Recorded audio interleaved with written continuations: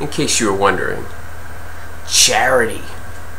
I don't think people should be guilted or browbeaten into giving to charity. I mean, if they're a good, decent person and they have reasonable means, they should give. Right? Especially if they are a really good person and or really have the means. Wouldn't you just love to be a philanthropist? But you don't need to have money coming out of your backside to do the right thing. That is, if you feel compelled to do so. Yeah, doing the right thing makes things better.